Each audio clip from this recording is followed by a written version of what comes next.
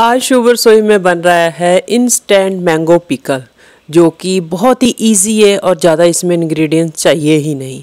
तो इसके लिए हमने कच्चे आम ले लिए हैं, आमों को अच्छे से धो के सुखा लिया है। तो फिर हम इसको छोटे छोटे पीस काट देंगे। तो आपकी मर्ज़ी है, पर छोटे पीस ज़्यादा अच्छे रहते हैं। तो इसलिए इस तरीके से हम छोटे छोटे पीस काट लेंगे। तो ज़्यादा हमें इसको सुखाना नहीं है, कुछ ज़्यादा टाइम नहीं हमें चाहिए, फटाफट बनने वाली रेसिपी है। तो ये आपकी रेसिपी दो तीन महीने आराम से निकल जाएगी, आप इसको बना के फ्रिज में रख सकते हो।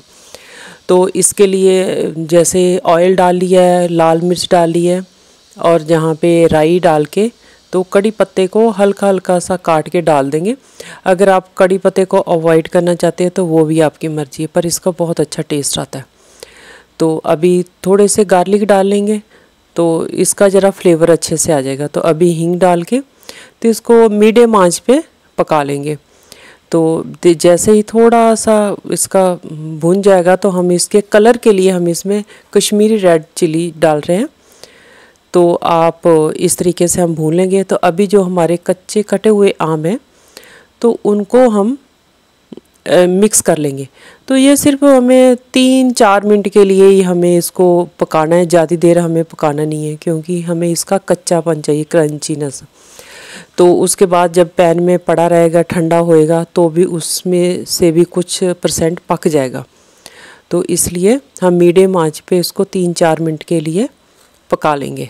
तो अभी हम नमक जो अपने स्वाद अनुसार इसमें डाल सकते हैं तो इस तरीके से। और ये आप पराठों के साथ खाइए बड़े पीस होते हैं तो कोई पूरा खा नहीं सकता। तो छोटे छोटे पीस बहुत ही ज़्यादा इजी और टेस्टी लगते हैं। तो आप जिसके साथ मर्ज़ी इसको अचार को खा सकते हो। तेल भी आप अपनी मर्ज़ी से डाल सकते हो। अभी ये हमारा पक गया। तो अभी हमने इसको ठंडा कर लिया।